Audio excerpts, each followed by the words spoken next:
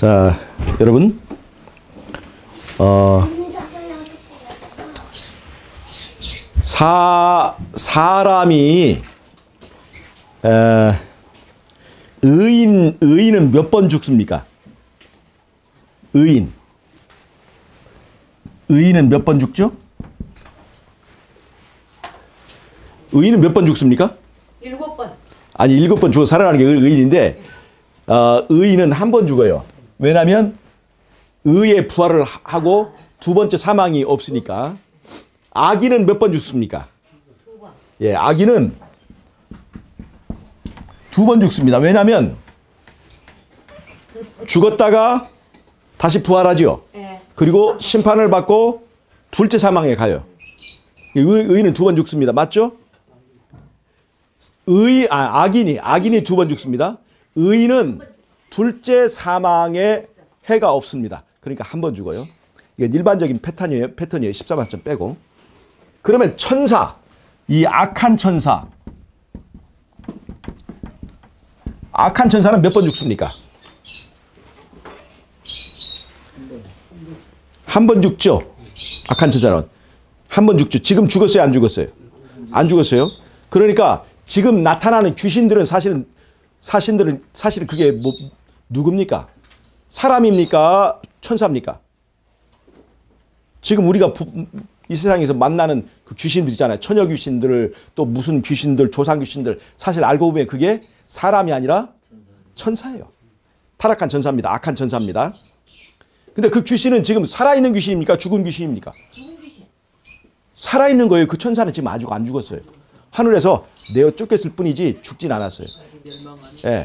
근데, 근데 우리가 이 살아있는 귀신을 죽은 귀신으로 착각하는 거죠. 예.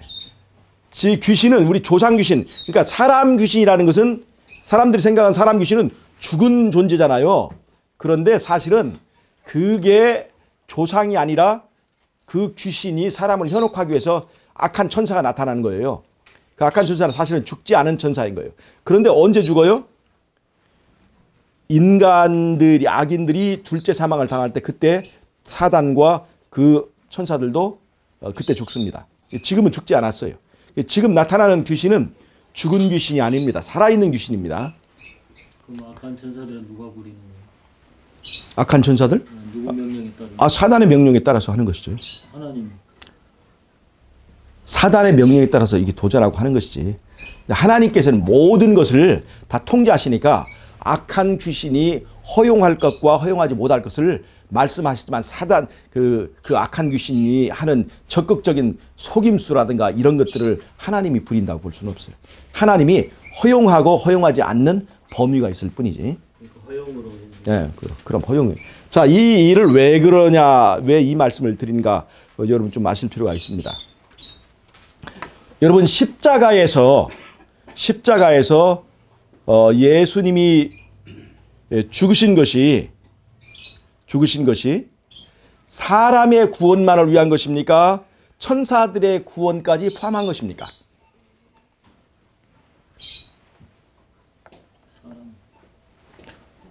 십자가에서 예수님께서 죽으신 것이 사람을 구원하기 위한 것입니까? 천사들까지 구원하러 죽으신 것입니까? 사람. 예? 사람. 사람이죠. 우리가 보통 알고 있는 것이 바로 그렇습니다. 근데 이제 문제는 이상구 박사는 아, 그것을 천사들까지 구원하기 위하여 죽으셨다라고 하기 때문에 이런 문제가 생긴 거예요. 자, 왜 그러냐? 이상구 박사가 말하는 죄라고 하는 것은 우리가 이 성경과 예언에서 말하고 있는 그 죄라고 하는 것은 불순종입니다. 불순종. 근데 이상구 박사는 이 수- 죄를 어떻게 이해냐면 품성에 대한 오해라고 하는 거예요. 품성에 대한 오해. 근데 이게 예언의 신에 없느냐? 예언의 신에 있어요. 죄는 불순종이라고 하는 말씀이 예, 있을 뿐만 아니라 정의가 있을 뿐만 아니라 품성에 대한 오해라고도 얘기를 했어요. 근데 문제는 이상구 박사는 불, 죄는 불순종이라고 하는 이 공식을 부정합니다. 이것은 화입 부인이 믿음으로 말미암는 의를 깨닫기 전에 내렸던 정의라고 하는 거예요. 이 하나님 무조건적인 그 사랑을 하는 하나님은 이렇게 에, 이런 것을 죄라고 하지 않는다고 하는 거예요. 이상구 박사는. 그래서 이상구 박사 취하는 것은 품성에 대한 오해라고만 이 죄를 이해합니다. 그래서 사단이 하늘에서 범죄하고 이렇게 이 땅에 쫓겨온 것이 품성에 대한 오해가 있어서 그렇기 때문에 하나님께서 예수님을 보내서 십자가에 죽기까지 그분의 무조건적인 사랑의 품성을 다 보여 주심을 통해서 이 사단이 품성에 대한 오해를 가진 이 사단과 그 귀신들이 그 천사들이 품성에 대한 오해를 다시 어, 극복하고 어, 하나님을 예수님을 이해하고 그것을 받아들이면 천사도 구원받을 수 있, 있었다고 얘기를 합니다. 근데 이것이 바로 이상구 박사의 어, 이론이에요. 근데 이게 상당히 해괴한 얘기죠 한마디로 말하면 예수님이 하나님이 뭐가 되신 거예요? 천사가 되신 것입니까?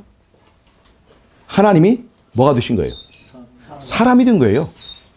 하나님이 사람이 되신 것은 하나님이 사람이 되어서 그 사람의 사람을 대표해서 그 사람을 위한 죄값을 치르고 그 사람을 구원하기 위하여 사람이 된 것입니다. 만약에 예수 하나님이 사람이 되지 않았더라면 그분의 그 십자가 희생이 우리 인간에게 아무런 소용이 없는 거예요. 적용이 되지 않는 거예요. 그래서 성육신의 의미를 올바르게 알면 하나님이 사람이 되신 예수님의 성육신의 존재의 의미를 알면 예수님의 십자가는 사람을 위한 것이지 천사를 위한 것은 아니라는 것을 알 수가 있는 거예요. 그런데 왜 이상구 박사는 왜 이런 오해를 갖느냐? 죄라고 하는 것을 품성에 대한 오해로만 생각하는 거예요. 일부적인 거죠. 불순종이라는 것은 그 반드시 거기에 뭐가 있어야 되는 거예요? 율법이 있어야 되는 거예요. 율법에 대한 불순종이기 때문에 율법이 요구하는 죄의 대가를 치르지 않는 이상 구원할 수 없는 거예요. 그래서 예수님께서는 사람이 되셔서 사람을 대표해서 그 사람을 위한 제사를 드린 거예요. 그래서 그것은 사람에게 적용되는 것입니다. 사람에게. 그러면 죄라고 하는 것은 말이에요. 품성에 대한 오해로 끝나는 것이 아닙니다. 잘 보세요. 아담이 인간이 말해 범죄한 그 과정을 보면 첫 번째가 뭐냐면 그 어, 불순종을 하게 된 동기를 따져보면 하나님의 품성에 대한 오해에서 시작됐어요. 그런데 인간이 하나님에 대한 하나님의 품성에 대한 오해만 있었을 뿐 선악과를 따먹지 따먹는 행동을 하지 않았더라면 인간 죽을까요 안 죽을까요? 안 죽어요. 오해만 했고 선악과를 따먹는데 이르지 않았더라면 죽지 않습니다. 자, 오해를 했는데 하와가 선악과를 따먹었어요. 하와가 선을 따먹었어요. 아직 아담은 선악과를 따먹지 않았어요. 그러면 하와는 어떻게 될까요? 죽어요. 근데 인간 전체는 죽을까요, 안 죽을까요? 안 죽. 왜냐하면 하와는 대표자가 아니기 때문에 그렇습니다. 아담의 행위가 있기 전에는 이 운명이 인간 전체에게 절대로 어, 적용되지 않습니다. 만약 하나님께서 아와가 아, 아담이 하와가 선악과를 먹었을 때 거기서 그치고 하나님께 그대로 순종하고 아담이 따먹지 않았더라면 하나님께서 하와보다 더 나은 아내를 주실 수 있었어요. 그걸 믿지 않았던 거죠. 그래서 결국 죄라고 하는 건 잘 보셔야 돼요. 오해는 하나의 동기가 될 수 있어요. 품성에 대한 오해는 동기가 되는 거지. 그러나 그것이 죄 자체는 아니라는 겁니다. 즉 죄라고 하는 것은 결정적인 불순종의 행위를 할, 할 때가 죄인 거예요. 하늘 보좌에서 루시퍼가 하나님께 불순종해서 떨어지는 거예요? 당연하지. 지금 내가 그 얘기를 하려는 거예요. 자, 보세요. 왜, 왜 천사는 한 번 죽고 의인도 한 번 죽는데 악인은 두 번 죽는 하는 문제를 지금 그걸로 설명하려는 겁니다. 자, 인간이 범죄한 것과 천사가 범죄한 것은 차원이 다릅니다. 잘 보세요. 루스벨은 하나님의 품성에 대한 대하여 오해가 있었습니까 없었습니까?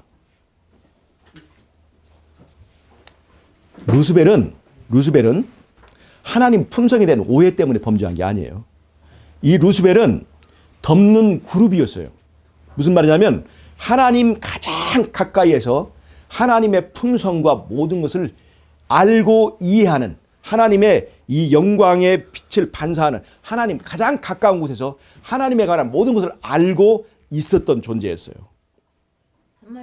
그런데 예, 그런데 왜 루스벨은 죄를 짓게 됐냐면 높고자 하는 그, 욕망. 그 욕망 때문에 그러니까 천사들 중에 가장 높았지만 그 루스벨보다 루스벨은 누구보다 높지 못했어요. 예수님보다 높지 못했어요. 바로 그거 한 끗 차이. 그 한 끗 차이에 대한 욕심이 바로 이 하나님의 품성을 알았음에도 불구하고 결국 뭘 하게 됐냐면 반역을 하게 된 거예요. 불순종을 하게 된 거예요. 그 불순종을 결정적으로 할 때까지의 기간이 있었을까요? 없었을까요? 기간이 있었어요. 사단의 생각에 이 불순종에 대한 이 어떤 것이 꿈틀거린 것 그랬을 때 하나님께서 그걸 다 알았습니다. 예수님께서. 그래서 사단에게 여러 번 여러 번 그 무한하신 그 사랑으로 이 루스벨을 설득했습니다. 그래서 처음에는 루스벨이 많이 이제 거기에 그, 그, 그 설득에 에, 의해서 많이 돌아섰었어요. 그런데도 결국에는 높고자 하는 그 열망을 이제 지- 자제하지 못하고 반역하기로 결정하고 자기 혼자만 한 것이 아니라 자기보다 하나님에 대해 잘 알지 못하는 천사들을 유혹한 거예요. 그래서 살아남을 자 같은 데 보면 하늘 천사의 절반 가까이가 절반 가까이가 이 사단의 이 왜곡 하나님에 대한 그 왜곡에 그 동요됐다고 그랬습니다. 그래서 충성스러운 천사들이 이 일을 예수님에게 다 보고를 했어요. 그래서 예수님께서 천사들과 함께 착서 어, 충성스러운 천사들과 함께 그 사단의 루스벨의 어, 이 꼬임에 넘어간 천사들을 설득했다고 그랬어요. 그래서 상당히 많은 천사들이 돌아왔다고 그랬어요. 그런데 높고자 하는 그 열망을 가진 욕망을 가진 루스벨과 그의 유혹을 받은 결국에는 함께 높고자 하려고 했던 그 사단의 그 천사들 중에 결정적으로 예수님께 반역하여 불순종의 길에 들어서게 된 숫자가 하늘 천사의 3분의 1이라고 그랬습니다. 뭐에 놓고자 하는 거예요? 욕망. 예. 하나님 같아. 왕이 되려고 하는 거죠, 우주에. 창조주를 할 텐데 그럼에도 불구하고 아, 그럴지라도 어, 자기가 아, 하나님 같이 되려고 하는 되려고 하는 그 욕망 때문에 결국엔 결국에는 결정적으로 반역을 일으킨 거예요. 그래서 하늘에 전쟁이 일어났어요. 그게 바로 하늘에서 일어난 불순종의 그 전쟁입니다.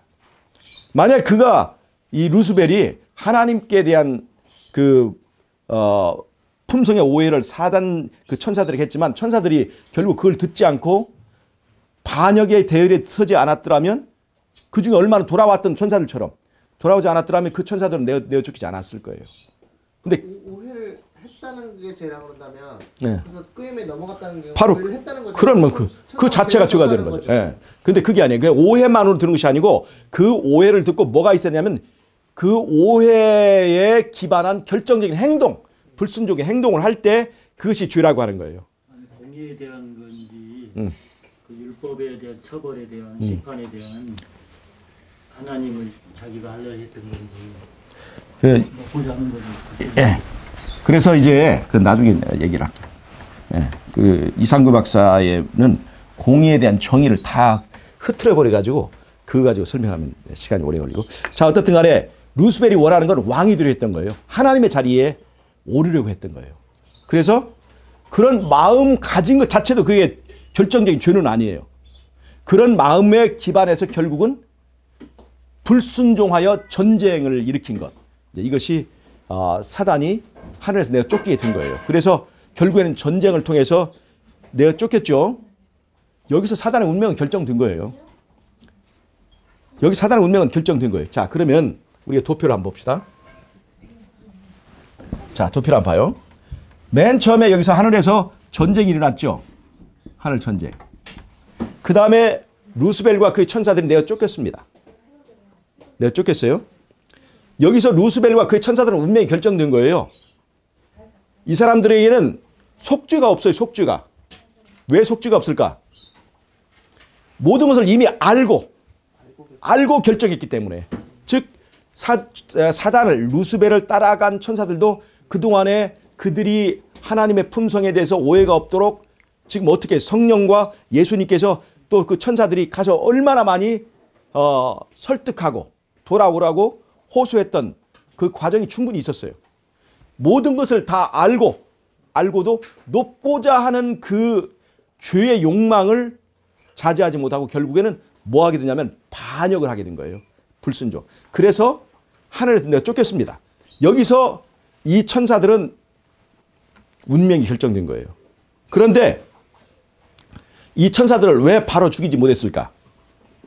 이 천사들을 구원, 이 천사들이 구원받을 여지가 있어서 바로 죽인 게 아닙니다. 그러니까 하늘에서 내어 쫓긴 천사들을 왜 바로 죽이지 못했을까요? 지금 하늘에 남아있는 천사들 중에는 하늘에 남아있는 천사들 중에는 사단의 이 속임수가 너무나 교묘하기 때문에 어떤 것이 진짜 하나님의 품성인가에 대해서 아직 이해하지 못하는 그러니까 범죄에는 이르지 않았지만 불순종에는 이르지 않았지만 아직 뭔가 여기서 이 차원에서 만약 사단을 죽여버린다면 오히려 천사들의 오해가 깊어질 수 있기 때문에 이 사단과 루스벨의 아, 루스벨과 그에 따른 천사들을 죽이지 못했습니다. 그래서 어떻게 했어요? 이 사단의 정체가 완전히 드러나도록 기회를 주신 거예요. 그래서 두 번째 전쟁 단계 예수님께서 성육신에서 이 땅에 내려오시는 겁니다. 예수님께 이 땅에 성육신으로 내려오셨어요. 즉 1차 전쟁은 홈그라운드가 누구의 홈그라운드예요? 예수님의 홈그라운드에 저, 저, 저 사단이 내어 쫓겼죠. 근데 두 번째는 사단이 이 땅에 와서 아담과 하와를 유혹해서 자신의 홈그라운드를 형성했습니다. 그래서 성육신은 바로 그 사단의 홈그라운드에 예수님이 오셔서 그 예수님이 인간을 구원하기 위하여 애쓰는 그 과정에서 하나님의 품성을 드러내고 또 인간을 구원하는 모든 그 과정 속에서 사단과의 대쟁투를 통해서 여기서 인간을 구원할 뿐만 아니라 이 십자가를 통해서 누구의 정체를 드러난 거예요? 하나님의 품성을 옹호하고 사단의 정체를 다 드러내 버렸어요. 이 십자가를 통해서. 그러니까 이제 더 이상 하늘에서 사단의 유혹에 빠질 사람이 있겠어요, 없겠어요? 어, 천사들이 없게 된 거예요. 그래서 하늘이 정결케 되었다고 하는 것이 바로 계시록 12장에서 이제 그 나오는 얘기입니다. 하늘이 이제 오해로부터 정결케 된 거예요. 그래서 완전히 계시록 12장에서는 하늘에서 땅으로 내어 쫓기니라.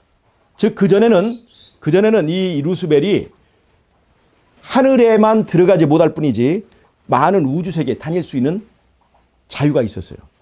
그런데 이제 더 이상 우주 거민들과 천사들을 유혹할 수 없게 됐어요. 왜냐하면 그 사단의 민낯을 그의 정체를 예수님께서 십자가에 죽으시면서 죄 없는 예수님을 죽이는 그 사단의 악랄한 모습을 하늘 천사들이 다 보고 그때 깨달아 버린 거예요. 그래서 하늘에 서더 이상 천사들을 어, 유혹할 수 없게 되었기 때문에 이 사단은 이 땅에 내어 쫓기게 된 것입니다. 이 십자가에서 천사들을 구원할 수 있었다면 사실 그 중에 수많은 천사들 중에서 한 명이라도 구원받는 천사가 나와야 되는 거예요. 하나도 없잖아요. 왜 그럴까요? 원래 천사들의 운명은 여기서 여기서 결정되었기 때문에 그런 거예요. 그런데 왜 인간들을 위하여 왜 인간들을 위하여 천사들을 위해서 죽어주지 않으신 예수님이 왜 인간들을 위하여 지금 죽어주시는 겁니까? 왜? 왜 그럴까요? 인간은 인간은 사단은 영적인 존재로서 수많은 세월 동안 하나님을 체험하고 알아왔고 그런 기회가 주어져서 충분히 알고 완전히 알고 죄를 지었기 때문에 그 사단에게는 더 이상의 기회가 없어요. 왜냐하면 더 해줄 것이 없기 때문에. 그러나 인간은 인간은 아직 미성숙한 상태에서 죄를 지었기 때문에 그를 위하여 다시 한번 선택할 수 있는 기회가 주어진 것입니다. 그것이 바로 십자가에서 죽기까지 그분의 사랑을 보여주심으로 미성숙한 상태에서 죄를 선택했던 그 인간들에게 다시 한번 네, 기회를 주시려고 하신 것입니다. 그래서 이 십자가의 이 공, 십자가의 이 구원은 천사들에게 해당되는 것이 아닙니다. 천사를 구원하려 하신 것이 아닙니다. 자, 그걸 조금 우리가 보도록 하겠습니다. 자, 로마서 5장 12절 한번 여러분이 찾아서 읽어주세요. 로마서 5장 12절입니다.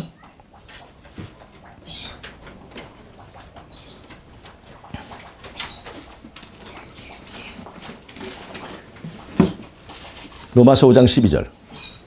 그러므로 한 사람으로 말미암아 죄가 세상에 들어오고 죄로 말미암아 사망이 들어왔나니 이와 같이 모든 사람이 죄를 지었으므로 사망이 모든 사람에게 이르렀느니라 예. 그 다음에 13절. 죄가 율법 있기 전에도 세상에 있었으나 율법이 없었을 때는 죄를 죄로 여기지 아니하였느니라 그 다음에요. 그러나 아담으로부터 모세까지 아담의 범죄와 같은 죄를 짓지 아니한 자들까지도 사망이 왕노릇 하였나니 아담 오실자의 모형이라 자, 잘 보세요. 여기서 무슨 얘기를 하냐면, 자, 아기가 하나 있어요. 아기가. 자, 아기가 이 태어났습니다. 그 아기가 죄를 한 번도 짓지 않았어요. 거짓말도 안 했고, 한 번도 죄를 안 지었어요. 근데 이 아기가 죽습니까? 안 죽습니까?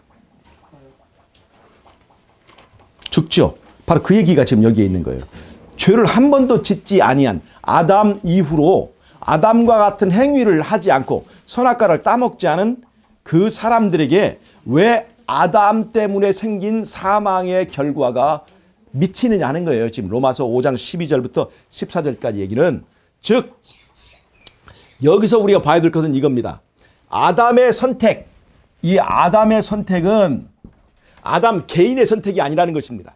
지금 아담이 어느 위치에 있는 거예요? 인간을 대표하는 그 대표자의 위치에서 결정한 것이기 때문에 누구에게 미치는 거예요? 아담의 후손 모두에게 다 미치는 거예요. 그러니까 대통령의 행위는 대통령 개인의 행위입니까? 우리나라 전체의 행위입니까? 국가의 행위잖아요. 이 국가의 행위는 달라요. 그래서 대통령이 만약 조약을 맺으면 대통령만 그 영향을 미치는 게 아니라 그 나라 국가 모든 사람에 영향을 미치는 것 같은 거예요. 즉 아담은 인간을 대표하는 자리에 있었기 때문에 즉 국가의 행위, 나라의 행위를 그가 한 거예요. 그래서 아담의 선택으로 아담에게 속한 모든 사람에게 모든 사람이 다 사망에 이르게 된 거예요. 자, 그러면 이것이 성경에 어디에 어 어디와 이게 부딪히냐면 에스겔서 18장 4절과 부딪힙니다. 에스겔 18장 4절 한번 보세요.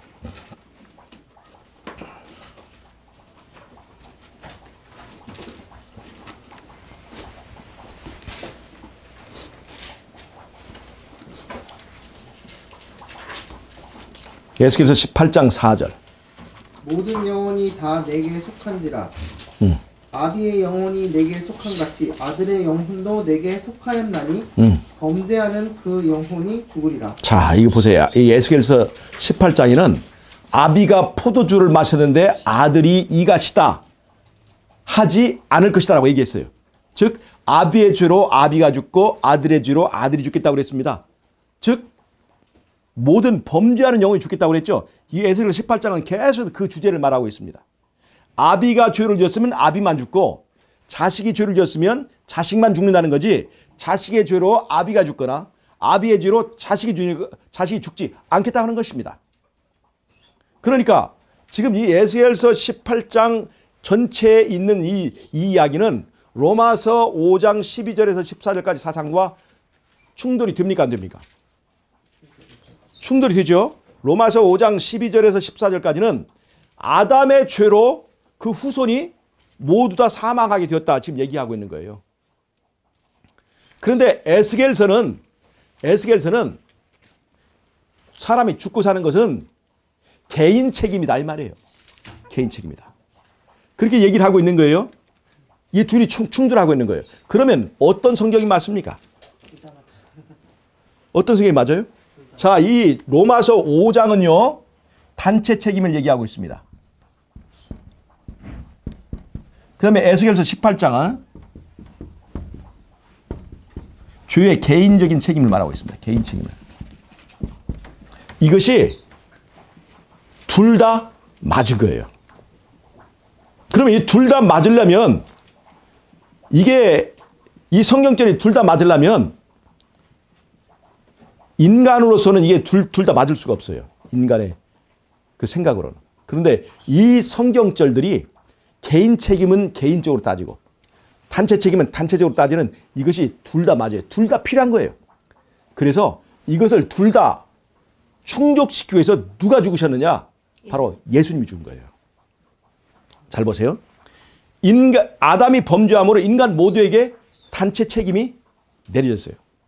그런데 하나님께서는 죄- 결국 인간의 운명을 결정하는 것은 단체가 아니고 개인이라고 하는 개인 책임 그 사상도 있어요. 근데 이 두 가지가 다 틀린 게 아니에요. 다 맞아요. 그래서 이 두 가지를 다 살게 하기 위해서 어떻게 했냐면 그 아담이 선택해서 아담의 행위로 인해서 인간 전체에 내려진 그 단체 책임으로서의 죄값을 예수님이 치르신 거예요. 자, 보세요. 예수님께서 아담의 범죄로 인해서 생겨난 이 사망의 운명을 그분이 십자가에서 그 죄값을 다 치렀습니다. 이거는 이거는 보세요. 품성에 대한 오해냐 아니냐 그 차원의 문제가 아니에요. 율법이 요구하는 것을 채우느냐 안 채우느냐 문제예요. 죄가 율법에 대한 불순종이기 때문에 구원도 그 율법에 대한 요구를 채우는 것입니다. 그래서 예수님께서 그 값을 지불했습니다. 그것이 십자가에서 이루어진 거예요. 그 다음에, 그 다음에 예수님께서 이 모든 십자가에서 단체 책임을 해결하시고 우리에게 뭐라고 그랬냐면 우리에게 예수님을 선택할 수 있는 기회를 준 거예요. 예수님을 개인의 구주로 선택하는 그 기회를 준 거예요. 그러면 예수님을 개인의 구주로 선택한 사람에게는 예수님께서 죽으신 십자가의 공로가 적용이 되어서 단체 책임도 적용이 되고 그 다음에 내 선택에 의해서 내 운명이 결정되어서 예수님이 죽으신 것이 적용돼서 내가 죽지 않게 되는 겁니다. 자, 잘 보세요. 왜, 왜 의인은 한 번 죽느냐? 그 단체 책임에 의해서 한 번 죽는 거예요. 근데 왜 의인은 부활하느냐? 개인 책임에 대한 개인적인 선택에 의해서 예수를 선택했기 때문에 그 단체 책임에 대한 그 처벌을 그 심판을 극복하고 이겨나는 거예요. 그런데 악인은 왜 두 번 죽느냐? 예수님께서 단체 책임을 다 해결하시고 선택할 우리에게 다시 한번 선택할 기회를 주셨죠. 왜 다시 한번 선택할 기회를 주셨어요? 첫 번째는 미숙한 가운데서 선택을 했기 때문에 예수님께서 십자가에서 그분의 모든 사랑과 그분의 품성을 다 드러내시고 또 첫 번째 선택에 의한 죄의 값을 다 지불하신 다음에 우리에게 다시 한번 선택하게 하신 거예요. 그래서 이제 그 예수님을 선택하는 것은 누가 선택하는 거예요? 개인이 선택하는 거예요. 예수님을 거절한 그 개인은 어떻게 되는 거예요? 이제 첫 번째 사망을 해결했으니까 아인이, 악인이든지 의인이든지 다 부활합니다. 한 번씩 다 부활합니다. 그런데 악인은 그리스도의 그 희생의 그 공로를 거절했기 때문에 다시 한번 악인의 선택에 의해서 어떻게 되는 거예요? 둘째 사망에 들어가게 되는 것입니다. 그래서 의인은 한 번 죽어요. 악인은 두 번 죽어요. 즉 의인이 한 번 죽고 두 번 죽는 그래서 공통적으로 악이든지 의든지 다 죽습니다. 그것은 뭐 때문에 그런 거예요? 단체 책임 때문에 그렇습니다. 그러나 둘째 사망에서는 죽는 사람과 안 죽는 사람이 있어요. 이것은 뭐가 뭐에 의해서 개인적인 선택에 의해서 그렇게 되는 거예요. 자 이해가 되셨죠? 자, 이 예수님의 십자가의 의미는 단체 책임과 개인 책임을 둘 다 다 충족시키기 위해서 한 거예요. 그 다음에 또 하나가 있습니다. 예수님의 십자가의 의미는 어, 이런 것들은 전부 다 형, 형사적 원리에, 형법적 원리에 있는 거예요. 이게 다. 그런데 예, 형법적 원리에서 또 하나 다룰 게 뭐냐면 고의 책임과 과실 책임입니다. 고의와 과실. 자, 이게 중요합니다. 예수님 구약에는 무슨 제도가 있냐면 도피성 제도가 있습니다. 도피성 제도가 있어요. 예를 들자면 도끼질을 하다가 도끼가 튀어가지고 잘못 튀어갖고 옆 사람을 쳤는데 죽어버렸어요. 그러니까 이 사람은 죽일 마음이 있었어요, 없었어요? 없었어요. 그건 과실이에요, 과실. 과실로 사람이 죽었어요. 그런데 옛날 모세의 법은 어때요? 이해는 이해요. 그러니까 과실이든지 고의든지 내가 피해를 입은 대로 그 사람에게 가할 수가 있어요. 근데 이게 절대 나쁜 법은 아니에요. 왜냐하면 과거에는 그 복수, 이 복수를 하- 하게 되면 내가 한 사람 죽었다고 그래서 한 사람만 죽이는 게 아니라 그 집안 모두에게 다이 복수를 하기 때문에 그렇게 하지 못하도록 이 공의의 질서를 그 잡아놓은 게 이해는 이. 그러니까 이 하나 부러뜨리면 하나만 부러뜨리고 거기까지만 이게 예, 그한 거예요. 아직 아직 사람들의 어, 어떤 그, 그 개념이 성장하지 못했을 때 그 상태에 맞는 법을 주신 거예요. 자, 그런데 도끼질을 하다가 도끼가 빠져가지고 옆 사람을 죽였어요. 근데 이 사람이 사람은 죽이긴 죽였지만 죽일 고의가 없었어요. 그게 과실범이란 말이에요. 즉, 이 과실범을 구하기 위하여 피신처를 만드는데 그것이 바로 도피성이에요. 그래서 모든 성에서는 도피성으로 가는 길이 잘 닦여 있어요. 왜냐하면 도망가기 쉽도록 빨리 도망가라 이거예요. 도망가다가 잡히면 죽어도 어쩔 수가 없네요. 그거 어쩔 수가 없어요. 그러니까 빨리 도망가야 돼. 길을 만들어 놨어요. 그러니까 길을 만드는데 불구하고 천천히 가다 잡히면 그 사람 책임인 거예요. 그래서 과실범은 도끼질을 하다가 사람이 죽었다. 그러면 빨리 도피성으로 갑니다. 도피성으로 가면 그 도피성에 제사장이 기다리고 있어요. 그럼 제사장에게 이런 내력을 다 얘기해 줍니다. 내가 토끼질 하다가 전혀 사람을 죽일 의도가 없었는데 토끼질 하다 사람이 죽었습니다. 저를 어, 보호해 주십시오 하면 그 제사장이 들여보내는 거예요. 근데 그리고 며칠 있다가 그 피해자, 사람 죽은 그 사람들이 와, 가족들이 와가지고 그 도피성에 와서 그 사람을 내달라고 요구를 합니다. 저 사람은 과실로 게 아닙니다. 저 사람은 우리 아버지를 고의적으로 뒤에서 탑기로 가격한 사람입니다. 그래가지고 동네 사람들이 와서 저, 저 증, 증인을 세웁니다. 저 사람이 내가 도끼로 쳐 죽인 거 봤습니다. 증인이 딱 나와서 이 사람이 과실로 장작 패다 죽인 것이 아니라 고의로 죽였다는 것이 인정이 되면 도피성이 그 사람을 보호하지 않아요. 바로 내보냅니다. 복수의 손에 맡겨요.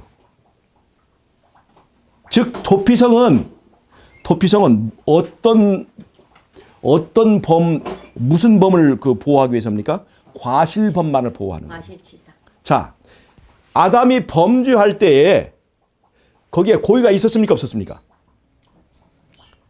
고의도 있어요. 고의도 들어 있어요. 아담이 범죄할 때 과실도 들어 있어요. 그게. 왜냐하면 미성숙한 데서 했기 때문에 전부 다 과실이 아니에요. 이게 아담의 범죄 속에는 고의와 과실이 섞여 있어요.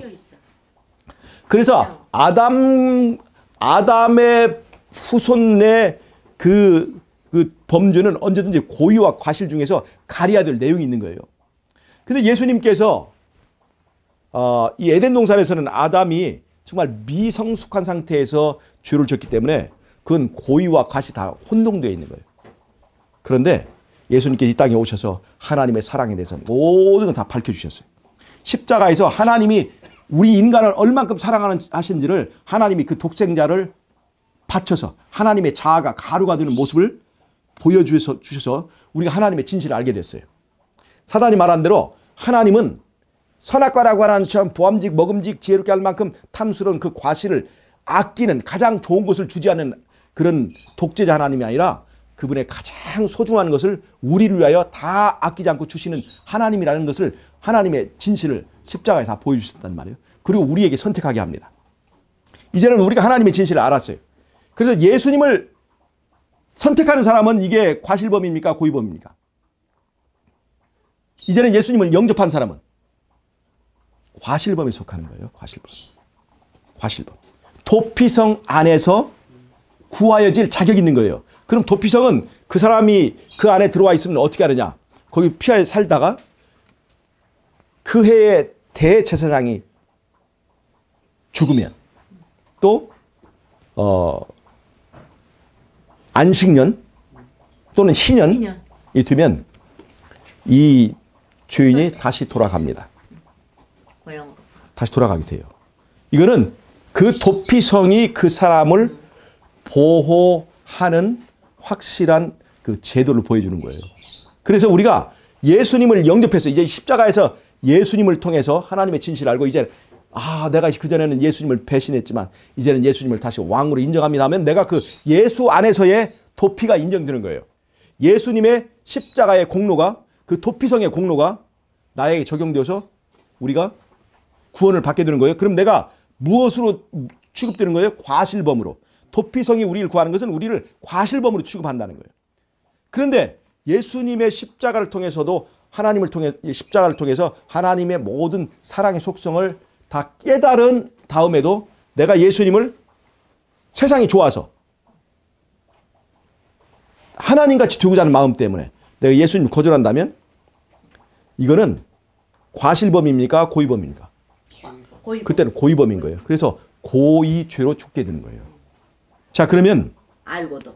이 십자가의 의미는 단체 책임과 개인 책임을 조화롭게 하는 의미가 있을 뿐만 아니라 고의범과 과실범에 대한 분명한 구별을 하게 해주는 것입니다. 그래서 십자가에서 의로운 자는 의롭게 되고 더러운 자는 불의한 자는 불의하게 나눠지는 그러한 역할을 하게 되는 거예요. 자, 그러면 십자가에서 단체 책임과 개인 책임이 충족이 되고 십자가에서 고의범과 과실범이 나눠지게 되죠. 그래서 의인은 몇 번 죽어요? 한 번 죽어요.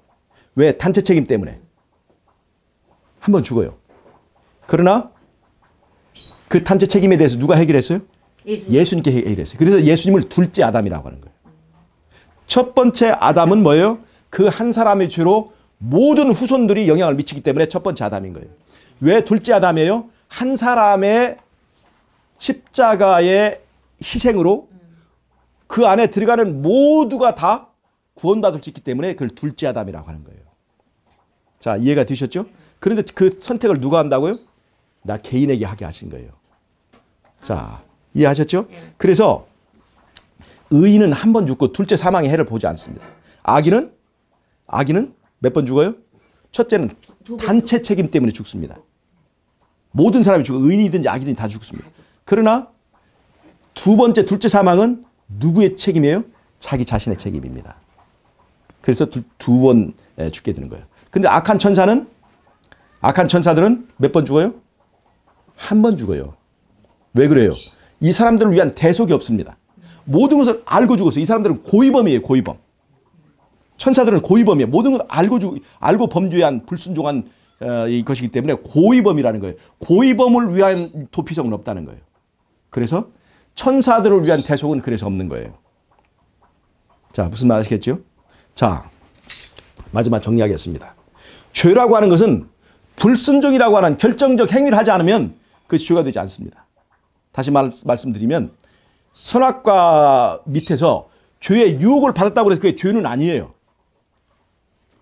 아, 선악과를 보고 하나님에 대한 어떤 오해가 생겼다고 해서 그 자체가 죄는 아닌 거예요.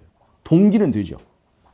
결정적으로 뭘 했을 때, 불순종했을 때, 선악과를 딱 먹었을 때, 행동을 했을 때 그것이 죄가 되는 거예요. 그래서 이 불순종에 대한 것으로 죄를 보지 않고 품성에 대한 오해로 죄를 보면 심각한 문제 생깁니다. 자, 그러면 구원은 뭡니까? 구원. 죄 짓는 것이 생각만으로 죄 짓는 것이 아니라 생각의 변화만으로 죄 짓는 것이 아니라 그 생각의 변화로 인한 결정적 불순종 행위를 했을 때 그것이 죄가 되는 것처럼 구원도 마찬가지입니다. 구원도 내가 십자가를 통해서 아 하나님의 품성에 대한 새로운 이해가 생겼어요. 그걸로 구원이 되는 것이 아니에요. 결정적으로 누구를 영접해야 돼요? 예수님을 영접해야 되는 거예요. 자, 잘 보세요. 탕자가 아버지 곁을 떠났습니다. 그러다가 이 부하방탕한 생애를 살다가 결국에는 무슨 생활을 하게 됐습니까? 부자의 음료 부잣집에 빼놓고. 그 돼 지 키는 어, 그 일을 하게 되었죠.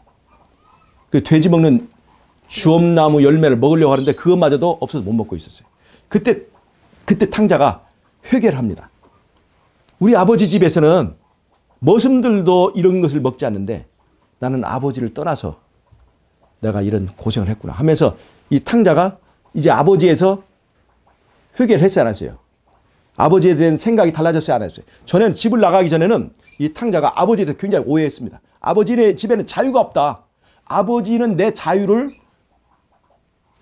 억압하는 존재다. 라고 생각해서 이 아버지에게 떠나서 먼 나라로 간 거거든요. 아부, 가능하면 아버지로부터 에, 멀리 떠나려고. 그런데 먼 나라에 가서 자기가 마음대로 자기가 말하는 자유를 다 누린 다음에 결국 뭐가 됐냐면 돼지 키는 사람이 됐어요. 그때 이 사람이 거기서 깨달은 거예요. 아, 아버지 안에 있던 자유가 뭔지를 아는 거예요, 이 사람. 아버지에 대한 오해가 풀어진 거예요. 근데 거기서 아버지에 대한 오해가 풀어지면서 거기서 계속 돼지를 키고 있더라면 이 사람에게 구원이 있습니까? 이 사람의 한 결정적인 구원에 대한 결정적인 건 뭐냐면 그가 일어나서 아버지께로 가니라요. 이 아버지께로 가니라. 일어나서 아버지께로 가니라가 이게 그 사람의 구원을 준 거지. 아, 아버지는 참 좋으신 분이었구나. 라고 생각하고 거기에 머물러 있었다면 그는 그것은 구원이 아닙니다. 생각이 바뀌고 그 생각이 뭐를 만들었어요? 행동하게 만든 거예요. 결정하게 만든 거예요. 이것이 바로 구원이에요. 아까 죄도 마찬가지입니다. 죄도 생각이 바뀌었어요. 하나님에 대한 오해가 생겼고 그것이 결국 무엇을 하게 했어요? 결정적인 선택을 하게 한 거예요. 그것이 되가 된 것처럼 구원도 뭐예요? 하나님에 대한 오해가 풀리고 그 다음에 오해로 풀리고 그걸로 끝나면 아무것도 아닌 거예요. 행동하게 되는 거예요. 행동. 결정적인 행동을 해야 돼요. 그래서 아버지께로 가야 되는 거예요. 그것이 뭘 말합니까? 행동해야 되는 거예요. 행동해야. 그것이 뭐예요? 회개와 자복과 헌신이 누구에게 나가야 돼요? 예수께로 나가야 되는 거예요. 탕자가 일어나서 아버지께로 가는 것처럼 이 죄인이 일어나서 누구에게 하는 거예요? 예수께로 가는 거예요. 그것이 바로 Steps to Christ. 정로의 계단이라는 거예요. 그러니까 이 조건이 있어야 돼요, 없어요? 결정적인 행위가 있어야 돼요, 없어요? 생각만으로 이것이 되는 게 아니에요. 즉 하나님에 대한 품성의 오해가 풀려진 것만으로 내 구원이 되는 것이 아니란 말이에요. 즉 그것은 중요한 동기가 될 수는 있지만 중요한 것은 일어나서 아버지께로 일어나 가니라가 있어야 된다는 거예요. 결정적 행위가. 자 이해가 되셨습니까? 죄는 죄는 율법이라고 하는 전제를 율법이라는 것을 전제로 하지만 죄가 되지 않습니다. 불순종이 죄가 되는 거예요. 의는 무엇냐? 율법이라고 하는 것을 전제로 하지 않고는 의가 성립이 안 돼요. 의는 율법이 요구하는 모든 대가가 다 치러져서 율법이 더 이상 이 사람에게는 빚이 없다. 라고 선언하는 것이 바로 의로운 거예요. 율법이 이 사람을 정죄하지 않는다. 그런데 그 정죄하는 율법을 조건적 사랑이라고 얘기하면 안 된다는 얘기예요. 율법은 율법의 기능을 다 하고 있는 거예요. 그런데 예수님께서는 내가 율법이 요구하는 것보다 더 많은 것을 그분이 준비해 주시고 내가 예수님을 선택할 때 그 율법이 요구하는 것을 다 치르고도 남게 해 주시는 그 일을 이루어 주셔서 율법도 지키고 인간도 구원하는 두 가지 일을 하신 거란 말이에요.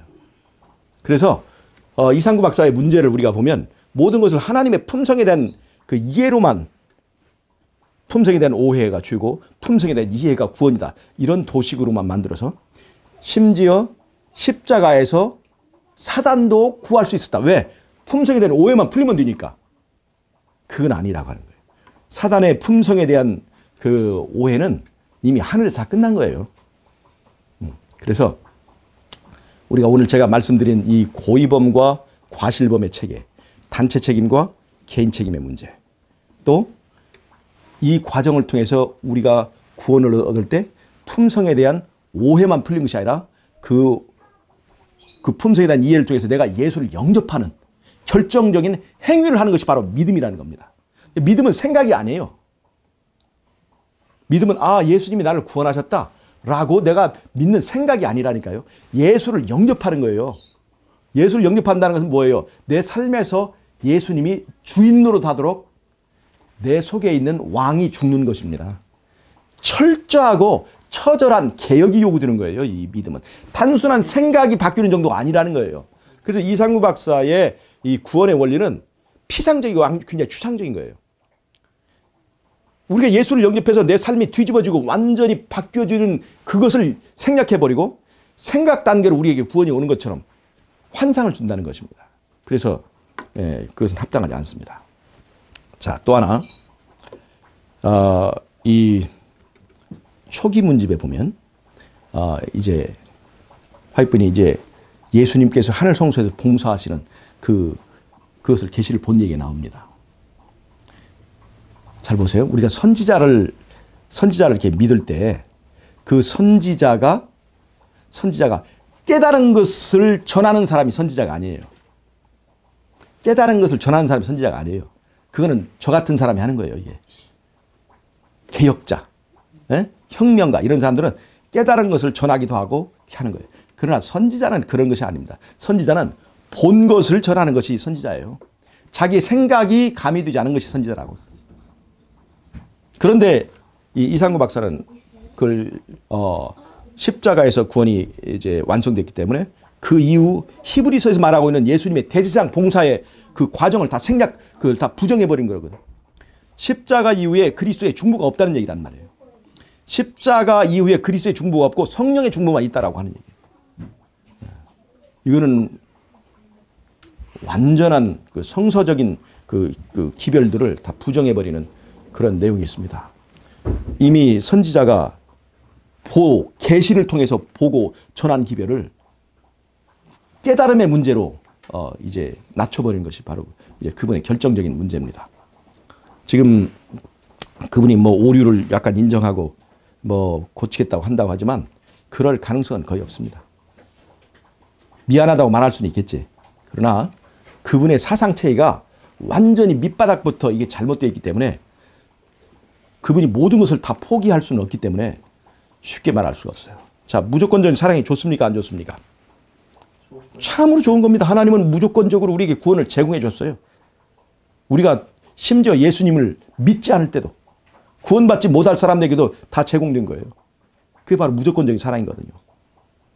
그러나 그 무조건적인 사랑이 십자가 이후에 그리스도의 중보를 부정하는 근거가 된다거나 그 다음에 그 무조건 사랑이 십자가에서 사단까지도 구원하려고 하는 그, 그, 제, 그, 그 제사라고 한다든가 그 무조건적인 사랑이 바로 선지자의 어떤 계시까지도 이렇게 부정해버리는 그런 역할을 한다면 그 무조건적인 사랑은 이탈한 거예요. 여러분, 무조건적인 사랑보다 더 감동적인 사랑이 누구인 줄 아세요? 그게 박명호가 말했던 아빠 사랑입니다. 박명호 말했던 아빠 사랑은요, 정말 따뜻한 사랑이었습니다. 왜 아빠 사랑인 줄 아세요?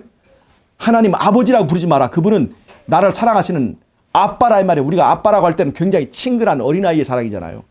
그래서 그 박명호에 빠진 사람들은 하나님을 아빠 아빠 그렇게 불렀어요.